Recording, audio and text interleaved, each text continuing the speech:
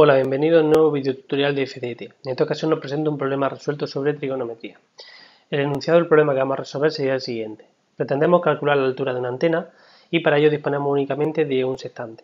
Desde el punto en el que nos encontramos medimos el ángulo bajo el que se ve el punto más alto de la antena con dicho aparato, con el sextante, resultando ser este ángulo de 55 grados. A continuación nos alejamos 7 metros en línea recta y volvemos a medir el ángulo.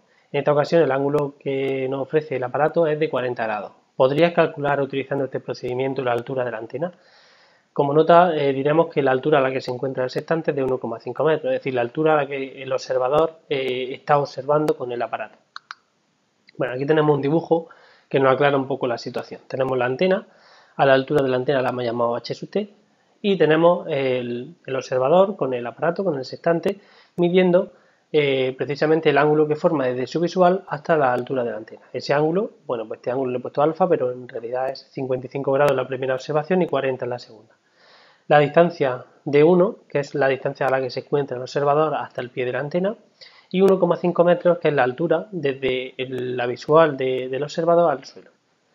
Bueno, pues si, si observamos con el sextante, hemos dicho que en la primera observación el ángulo que forma es de 55 grados, nos alejamos 7 metros y vuelve a observar y el ángulo que forma de nuevo sería 40 grados. Bueno, pues gráficamente tendríamos esta situación, tendríamos en eh, la primera observación, el observador estaría aquí a una altura de 1,5 respecto del suelo, eh, a la altura a la que se encuentra el, aparato, el sextante mide el ángulo que forma su visual con la altura de la antena, nos queda 55 grados, y esta altura que de este triángulo sería h sub t menos el 1,5 de, de la altura del observador.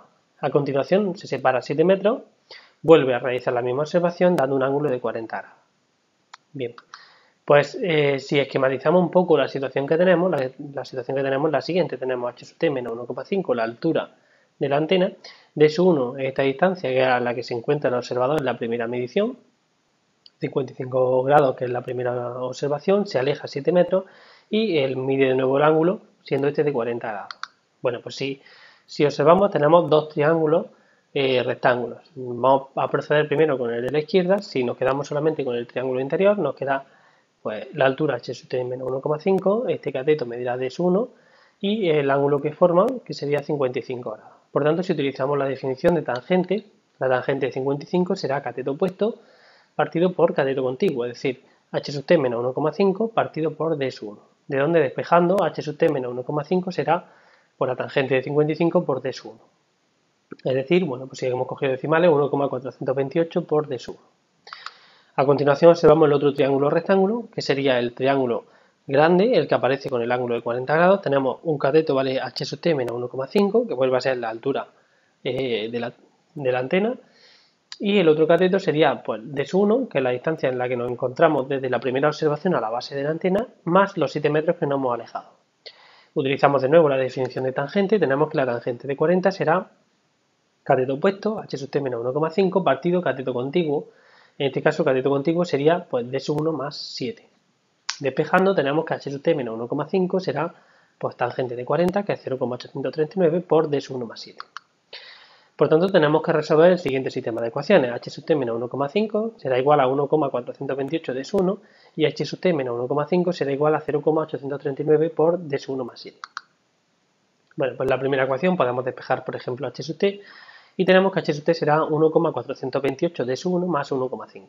Sustituimos la otra ecuación y nos queda por 1,428 d sub 1 más 1,5 menos 1,5 será igual a 0,839 por d sub 1 más 7.